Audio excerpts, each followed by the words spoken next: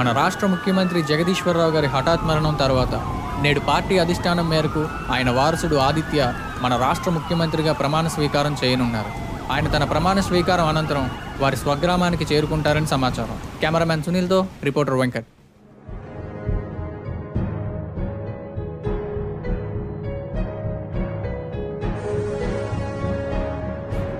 ఆదిత్యాను నేను శాసనం ద్వారా నిర్మితమైన భారత రాజ్యాంగం పట్ల నిజమైన విశ్వాసం విధేయత చూపుతానని భారతదేశ సార్వభౌమాధికారాన్ని సమగ్రతను కాపాడుతానని ఆంధ్రప్రదేశ్ రాష్ట్ర ముఖ్యమంత్రిగా నా కర్తవ్యాలను శ్రద్ధతో అంతఃకరణ శుద్ధితో నిర్వహిస్తానని భయం కానీ పక్షపాతం కానీ రాగద్వేషాలు కానీ లేకుండా రాజ్యాంగాన్ని శాసనాలను అనుసరించి ప్రజలందరికీ న్యాయం చేకూరుస్తానని ఆత్మసాక్షిగా ప్రమాణం చేస్తున్నాను.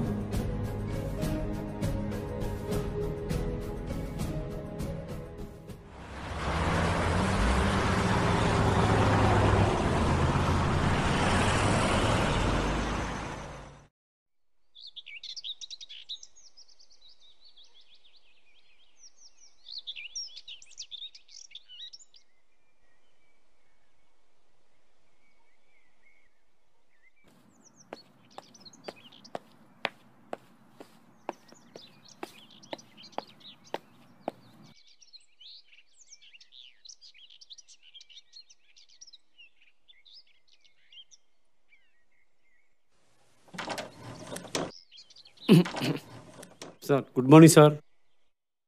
మీరు? ఈ రోజు నుంచి మీ P N O sir hi hmm Aditya. Subrahmanyam sir. నాకు చాలా హ్యాపీగా ఉంది సార్. ఫస్ట్ టైము యంగ్ సీఎంతో పనిచేయడం అది కాక నన్నే పిఏగా కావాలన్నారట. యాక్చువల్లీ నాకు ఈ పాలిటిక్స్ వాటి గురించి పెద్దగా తెలీదు. మీలా ఎక్స్పీరియన్స్ ఉన్న వాళ్ళు ఉంటే నాకు హెల్ప్ ఆ, అవుతుంది తప్పకుండా సార్. నేను మీ నాన్నగారితో కూడా చాలా ఏళ్ళు పనిచేశాను. సడన్గా ఆయనకి ఇలా జరగడం నేను నమ్మలేకపోతున్నాను సార్. కానీ ఈరోజు మీరు ఆయన వారసుడిగా సీఎం అవడం చూస్తుంటే ఆయన ఎక్కడున్నా సరే ఖచ్చితంగా ఆశీర్వదిస్తారు సార్. నాన్నగారికి ఇలా జరుగుతుందని ఆయన స్థానంలో నేను ఉండాల్సి వస్తుందని నేను ఏ రోజు ఊహించలేదు.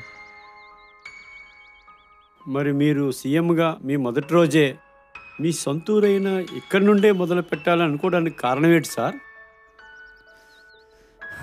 నా చిన్నప్పటి నుండి నాన్నగారు పాలిటిక్స్లో ఉండడం వల్ల చుట్టూ సెక్యూరిటీ గన్మ్యాన్స్ ఎప్పుడు ప్రైవసీ ఉండేది కాదు. నేను ప్రశాంతంగా ఫీల్ అయ్యే చోటు ఏదైనా ఉందంటే అది నానమ్మ గారిలే చిన్నప్పటి నుండి ప్రతి సంవత్సరానికి ఒకసారి నేను ఇక్కడికి వస్తుండేవాడిని. అలాగే ఒకసారి ఇల్లంతా ఆనందంగా ఉన్న టైంలో సడన్గా ఉగ్రవాదులు దాడి. ఇంటి నిండా తుపాకుల శబ్దం. పది నిమిషాల్లో ఇల్లంతా శ్మశానంగా మారిపోయింది. కళ్ళు మూసి తెరిచేలోపు నా అనుకునే వాళ్ళందరినీ పోగొట్టుకున్నాను.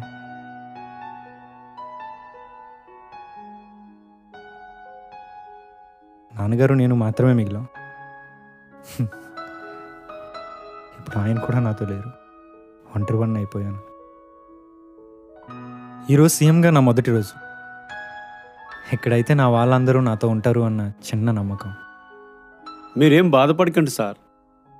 మీ వాళ్ళు ఎప్పుడూ మీతోనే ఉంటారు. వాళ్ళ బ్లెస్సింగ్స్ మీకు ఎప్పుడూ ఉంటాయి. థ్యాంక్స్ అండి. సార్ మిమ్మల్ని విషయం అడగొచ్చా? పర్లేదు అడగండి. సార్ ఈరోజు అసెంబ్లీలో మీరు మొదటగా సైన్ చేయబోయే ఫైల్ ఏంటి సార్? ఎందుకు అలాగ అడిగారు? ఏమి లేదు సార్. వాటి కోసం మీకు అంతగా తెలియదన్నారు. అక్కడ చూస్తే మొత్తం వ్యవహారం అంతా వేరేలా ఉంటుంది. అందుకని ముందుగా ఓసారి తెలుసుకుందామని రైతుల కోసం మాట్లాడబోతున్నా. రైతుల కోసమా?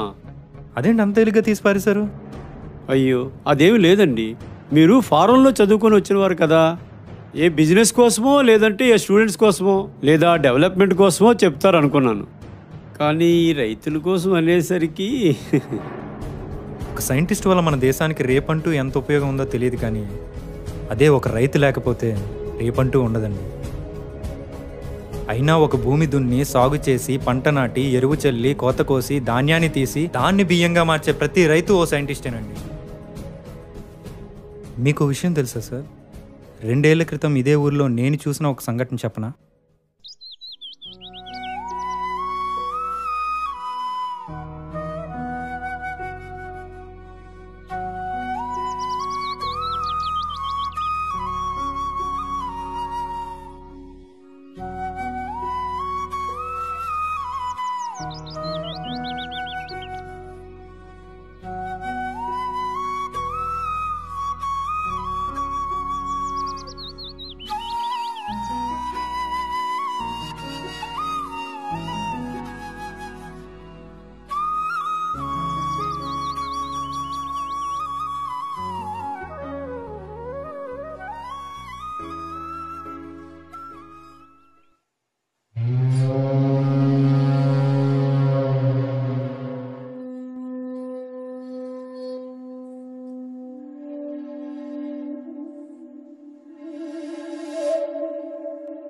ఏందన్నా ఈ మధ్య మన కలెక్షన్ బాగా తగ్గింది.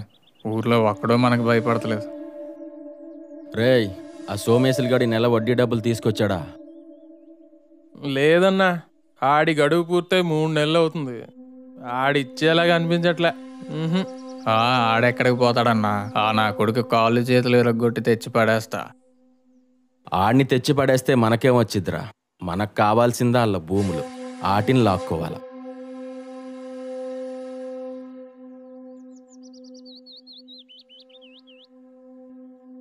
అన్నా ఆ సోమేశ్వరి గారి కొడుకు వచ్చిండే.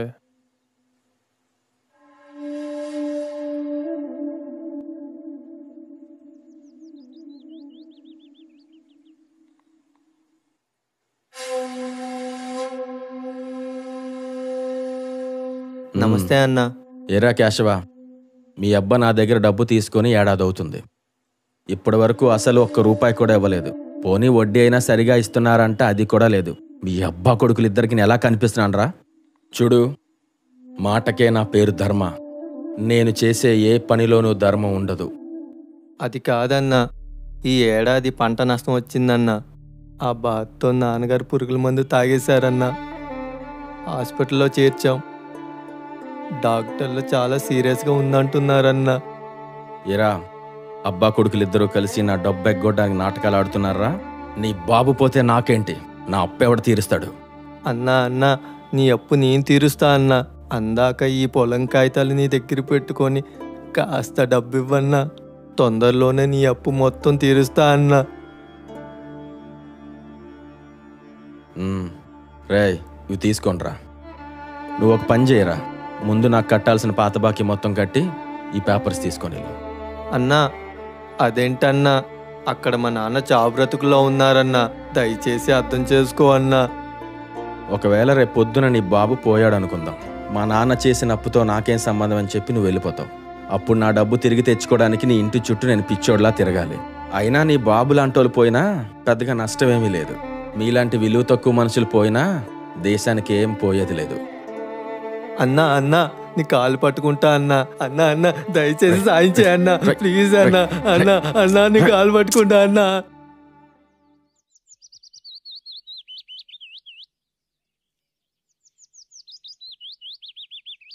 అన్నా అన్నా నాకు వేరే దారి లేదన్నా. అన్నా అర్థం చేసుకో అన్నా. అన్నా ప్లీజ్ అన్నా.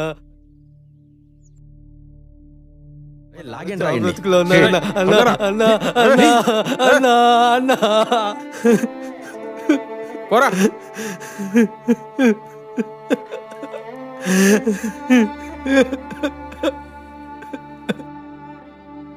అదేంటన్నా? ఆడి కాగితాలు ఇచ్చాడుగా. ఇంకా ఏంటన్నా? అలాంటి వాళ్ళందరూ విలువ తక్కువ మనుషులరా. వీళ్ళందరినీ మన కాళ్ళ దగ్గర పడేలా చేస్తేనే మన విలువ పెరిగేది. అర్థమైందా?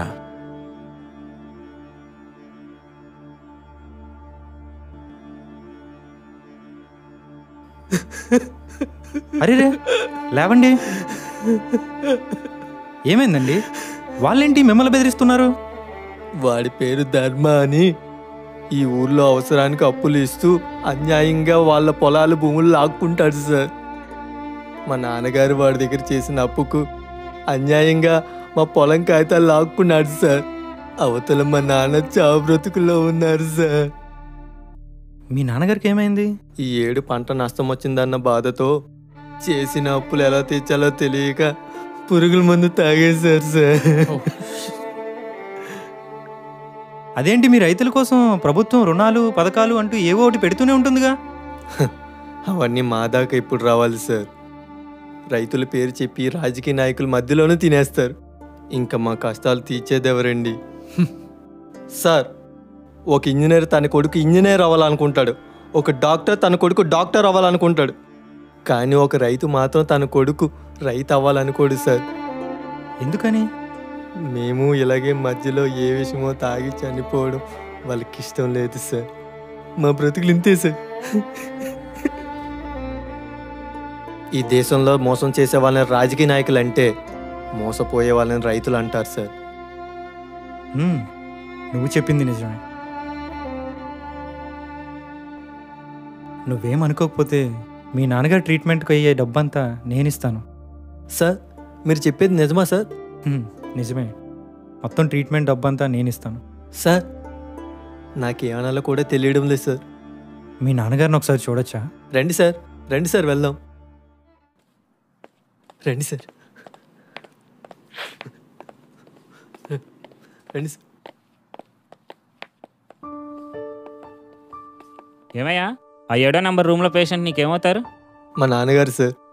మీకు బుద్ధి ఉందా ఏం మనుషులయ్యా మీరు? పేషెంట్ని అలా ఒంటరిగా వదిలేసి వెళ్ళిపోతారా? ట్రీట్మెంట్కి డబ్బుల కోసమని వెళ్ళాం డాక్టర్. ఏంటయ్యా మీరు? మీరు వెళ్ళిన కాసేపటికి ఆయన చనిపోయారు. ఆ విషయం చెప్దామంటే ఒక్కరూ కనిపించరే. ఓ పక్క మా డీన్తో మాకు చేయవాట్లు అక్కడ వరండాలో ఎక్కడో మీ నాన్న శవం ఉంటుంది. ఫార్మాలిటీస్ అన్ని ఫినిష్ చేసి తీసుకెళ్ళండి.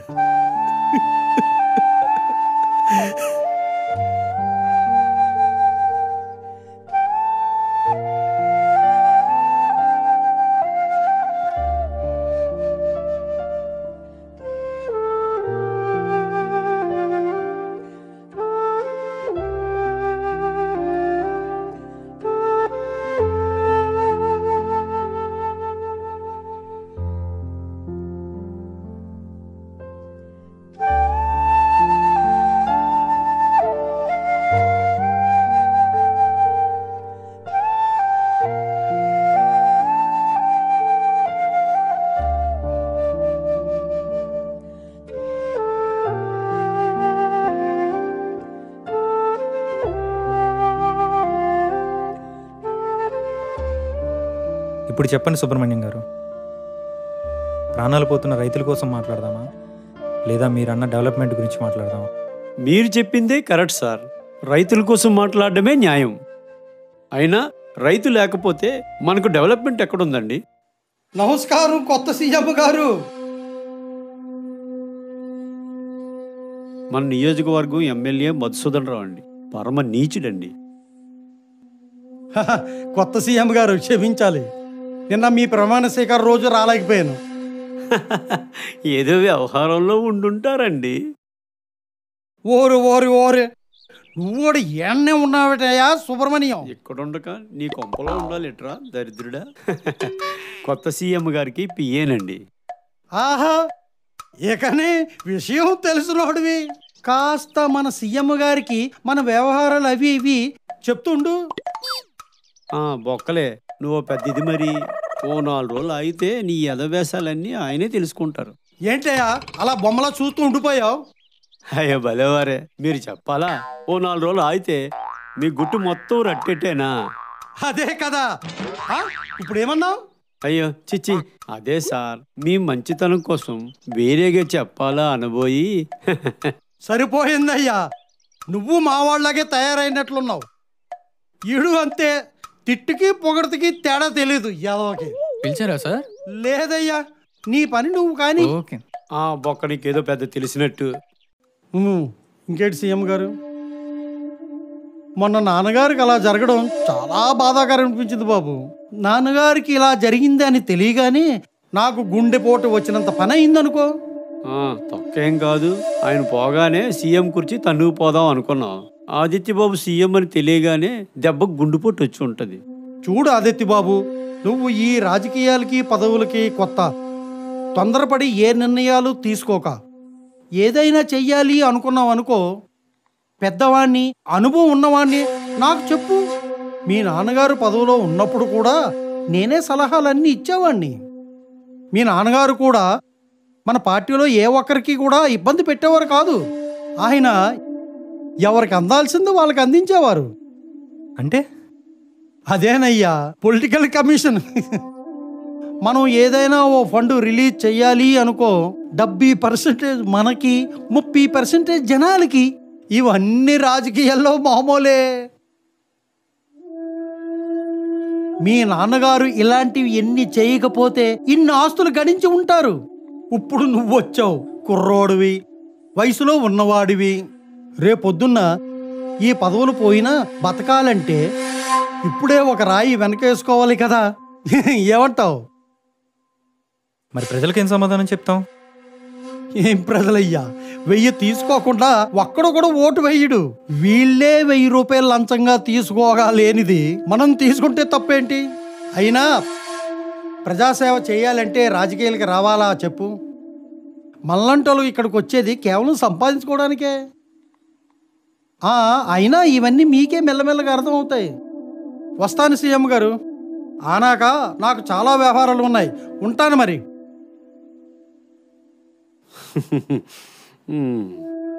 వీడు వీడి చెత్త రాజకీయాలు. సార్ ఇస్తున్నానండి. సార్ రామకోటి గారు లైన్ ఏందయ్యా రామకోటి? నాలుగు సూట్ కేసులు పంపమంటే రెండు సూట్ కేసులు పంపేవేంటి? లాభం లేదయ్యా. ఆ రెండు సూట్ కేసులు పంపితేనే నీకు సంతకం అవుతుంది. అంతే. చూసారా సార్? ఇలాంటి రాజకీయ నాయకులు ఉన్నంత వరకు ప్రజల్లో ఏ ఒక్కరికి న్యాయం జరగదు సార్. ప్రభుత్వం ఏదో ఒక కొత్త పథకం అమలు చేయకపోద్దా? దానిలో వచ్చే సగం తినేద్దామని గోతికాడు నక్కలాగా ఎదురు చూస్తుంటారు ఇలాంటి వాళ్ళు. ఇంక ఇలాంటి వాళ్ళ మధ్య ఈ రైతులకి ఏం న్యాయం చేయగలం సార్? సార్ మన ఇండియాని పేద దేశం అన్నీ చెప్పుతో కొట్టాలి సార్. ఇలాంటి అవినీతులు అక్రమాలు చేసే వాళ్ళ దగ్గర కొన్ని వేల కోట్ల నల్ల డబ్బు మిగిలిపోయింది సార్. మన ప్రభుత్వం ఏ పథకమైనా ప్రవేశపెట్టాలంటే రిజర్వ్ బ్యాంకు అప్పు కోసం తెల్లవాళ్ళ కాళ్ళు పట్టుకోవాల్సిన పరిస్థితి సార్. నేడు అదే మన దేశంలో ప్రభుత్వ ఉద్యోగులు నాయకులు ప్రజలు న్యాయంగా పనిచేసే రోజంటూ వస్తే ఇదే రిజర్వ్ బ్యాంక్కి తిరిగి అప్పిచ్చే స్థాయి మన ఇండియాది కానీ చేసేదెవరు అందరూ దొంగలే. ఇలాంటి వల్ల సార్ రైతులకు న్యాయం చేసేది ఈసారి రైతులకు న్యాయం చేసేది రాజకీయ నాయకులు కాదు సుబ్రహ్మణ్యం గారు. ప్రజలే చెయ్యాలి. సార్? మీరే అన్నారుగా మన దేశంలో కొన్ని వేల కోట్ల రూపాయలు ఉన్నాయని మనకు అంత అవసరం లేదు సార్. కేవలం ఒక్క రూపాయి చాలు. ఒక్క రూపాయా? అర్థం కాలేదు సార్. ఈ రోజుల్లో మనం ఎక్కడైనా హోటల్కి వెళ్ళి భోజనం చేసిన తర్వాత వాడు మనకిచ్చే బిల్లులో మనం తినేదానికంటే ఆ కింద ఉన్న ట్యాక్స్లే ఎక్కువ. సర్వీస్ ట్యాక్స్ అని ఆ ట్యాక్స్ అని ఈ ట్యాక్స్ అని వండేవాడు వడ్డించేవాడు తీసుకొచ్చేవాడు ఇలా అందరికీ ట్యాక్స్లు ఉన్నాయి. మరి పండించేవాడికి ఏదండి ట్యాక్స్? అందుకే ఈ రోజు నుండి ఒక్క రూపాయి ఫార్మర్ ట్యాక్స్ అని ప్రవేశపెట్టబోతున్నాం. ఫార్మర్ ట్యాక్సా? ఎస్ మనం తినే ప్రతి దాని మీద ఈ ట్యాక్స్ పెడుతున్నాం. ఉప్పు నుండి పప్పు వరకు ప్రతి దాని మీద ఈ ఫార్మర్ ట్యాక్స్ పడుతుంది. సార్ ఇది చాలా పెద్ద ఇష్యూ సార్. పైనుండి చాలా ప్రెజర్ ఉంటుంది. మనం దీనిపైన పిటిషన్ వేసినా జరగకపోవచ్చు. మనం చేరుకోవాల్సింది ఎంత దూరమైనా మొదలు పెట్టాల్సింది ఒక్క అడుగుతోనే అదే మనం ఇప్పుడు చేయబోతున్నాం. మరి ప్రజలు దీనికి ఒప్పుకోరేమో సార్. ఇప్పటికే ఇన్ని ట్యాక్సులు కడుతున్నారు. మళ్ళీ కొత్తగా ఇది ఒక ట్యాక్స్ అని గొడవ చేస్తారేమో సార్. ఒక కొత్త సినిమా రిలీజ్ అయినప్పుడు వాళ్ళ రెండు గంటల ఆనందం కోసం దానికి ఎంతైనా ఖర్చు పెట్టే జనం రైతుల ఆనందం కోసం ఒక్క రూపాయి ఖర్చు పెట్టలేరా?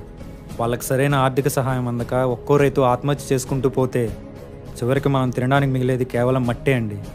అది తినే బ్రతకాలి. మనల్ని బ్రతికించేవాడిని బ్రతికించుకోవడం మన బాధ్యత అండి. Correct sir. ఈ ఫార్మర్ ట్యాక్స్ ద్వారా వచ్చే ప్రతి రూపాయి రైతులకు ఆర్థిక సాయంగా అందేలా ఒక టీంని రెడీ చేయాలి. రైతుల కుటుంబాలకు వాళ్ళ పిల్లల చదువులకు వాళ్ళకి కావాల్సిన అన్ని రకాల వస్తువులకు ఈ ఫార్మర్ ట్యాక్స్ ఆర్థికంగా సహాయం అందిస్తుంది. ఇక మన దేశంలో ఏ రైతు కూడా ఆత్మహత్య చేసుకొని చనిపోకూడదండి. మీ స్థానంలో నేను చాలా మందిని చూశాను సార్. కానీ మీలాంటి నాయకుడిని నేను మొదటిసారి చూస్తున్నాను సార్.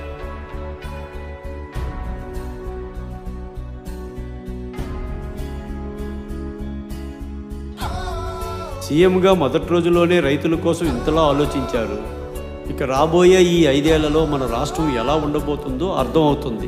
మీరు సార్ అసలైన లీడర్.